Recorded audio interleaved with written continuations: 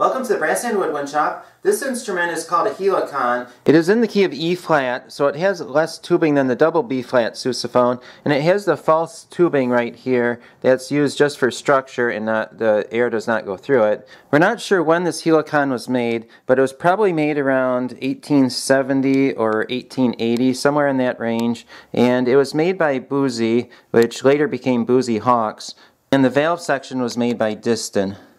This instrument belongs to one of my friends. He bought it out of someone's garage. It had been in there for probably about 50 years. As far as he knows, before that it was played in the Bennington, Vermont Firemen's Band.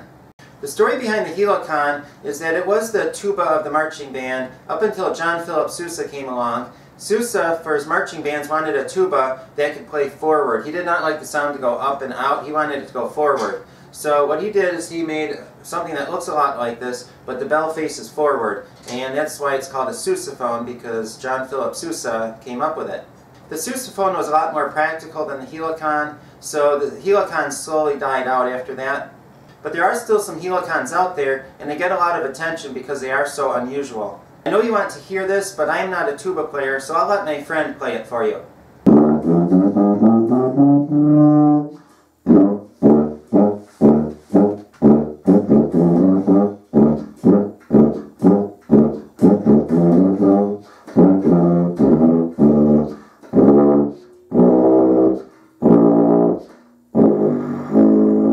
This Helicon is for sale. The price is $1,500 and if you're interested, email me.